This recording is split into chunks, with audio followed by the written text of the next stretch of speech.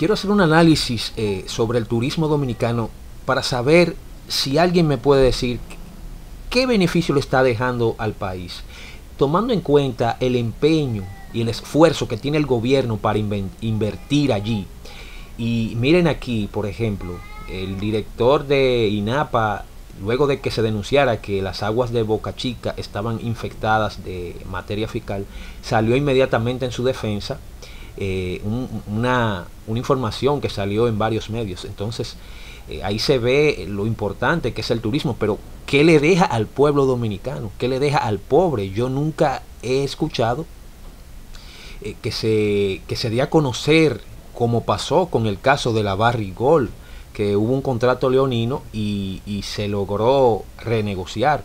Pero ¿qué le deja el, el turismo a los pobres dominicanos? ¿Por qué no se habla de eso? ¿Qué porcentaje de ese beneficio le llega a los más pobres?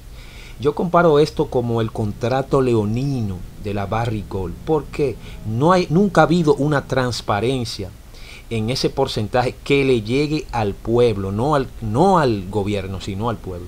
Vemos aquí cómo en los periódicos, los periódicos llenos eh, de anuncios de nuevos hoteles, nuevas inversiones, eh, casi siempre son, tengo entendido, empresas eh, turísticas extranjeras. Pero, ¿qué le dejan al país?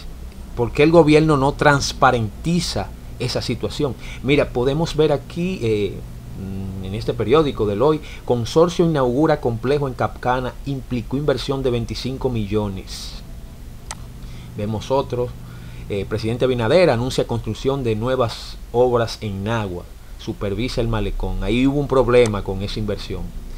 Hoteles españoles dedicarán 580 millones a República Dominicana. Ahí vemos a David Collado. República Dominicana aprobó tres proyectos de inversión y suma habitaciones. Y así podemos ver, miren, construirán dos hoteles con inversión de 70 millones de dólares. Eh, República Dominicana impulsa megaproyecto con 3.000 habitaciones para el 2023. Y así podemos ver aquí Picassos, inversiones, pero nunca se ha hablado de qué le deja eso al pueblo. Incluso tenemos entendido que eh, la ley 8020 no se cumple. Todos sabemos que la mayoría de personas que trabajan en el área hotelera en este país son de origen haitiano o extranjeros que son los que administran esas empresas extranjeras. Entonces yo le hago un llamado al gobierno o al sector eh, de turismo, al Ministerio de Turismo y a otros analistas en YouTube como José Peguero, Aneudi Santos, Rafael Guerrero y otros que se dedican a analizar estos temas, que por favor, que, ¿por qué? que me digan por qué no se le explica al, al pueblo qué le está dejando de beneficio esas inversiones. Puede ser que yo esté equivocado, eh, me pueden corregir, pero yo nunca he visto ese informe. Eh, quizás eh, lo emitan de una manera que no le llegue a todo público, pero yo nunca he visto un informe donde se hable de que tal porcentaje de la inversión que se hizo y del beneficio llegó al pueblo y en qué se invirtió. Mientras observamos las bellezas aquí en estas fotos de la República Dominicana, yo hago ese análisis y le pido a, a quien sepa de, eh, de la materia que me lo explique es muy bonito salir por ahí, por el mundo, a decir, República Dominicana lo tiene todo, uno de los países más bellos del mundo, pero su gente no se está beneficiando de eso.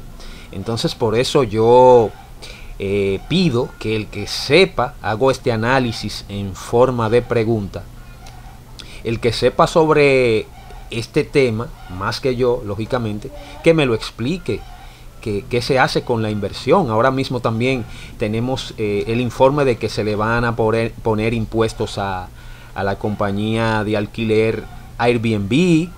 También hay un problema con los taxistas, los Uber y otras compañías, un conflicto muy feo que se está dando. Entonces, allí en el turismo hay mucho beneficio, pero ¿qué le llega al pueblo? qué, qué, en qué se invierte ese porcentaje, si es que lo hay, en las necesidades del pueblo dominicano. Eso es lo que me interesa saber y que se transparentice. ¿Me entienden? Todos hemos podido notar el esfuerzo extraordinario que está haciendo el gobierno para mantener el turismo a pesar de la baja por la situación sanitaria que tenemos. Eh, entonces, algo de beneficio hay muy grande detrás de eso. Lamentablemente, así es que debemos pensar en este, en este país.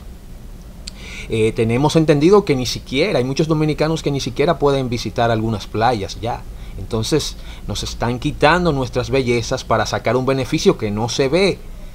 No se ve. Entonces si alguien tiene, hago este análisis, repito, en forma de pregunta, si alguien me pudiera explicar esta situación, que me lo diga, porque esto me inquieta mucho. Lamentablemente este país está esperando que llegue la pelota eh, está esperando que, eh, que el Alfa haga un concierto y en eso no estamos muchos. aquí hay algunos como yo que siempre están observando los movimientos de las inversiones del gobierno porque es mi dinero. No lo voy a decirle ustedes, quizás ustedes no lo ven así. Es mi dinero y tenemos a un presidente que lo administra pero queremos transparencia. Y este tema siempre me ha inquietado mucho, porque he sido cohibido de entrar a algunas playas sin beneficio. Entonces, eh, me gustaría que alguien me hablara de este tema profundamente.